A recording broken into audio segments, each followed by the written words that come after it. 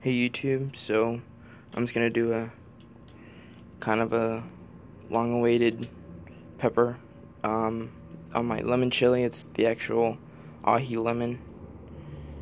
Um, so I just measured it and it's about four feet wide and about three feet tall, which is pretty crazy. Let me just stand back. You can see Show you how tall it is. And I'm, ow, I kind of hurt. I'm standing it, standing next to it. That's how tall it is.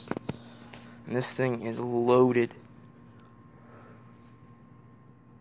There's just peppers everywhere. Let me see if you can lift up a few branches. You just see this thing's loaded.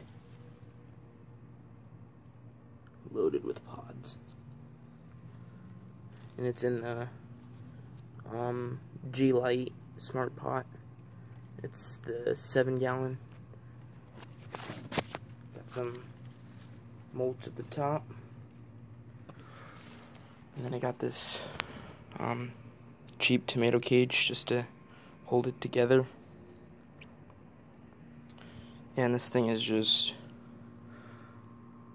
pushing out peppers all crazy.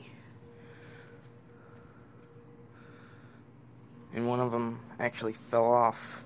Let me grab it of my pocket.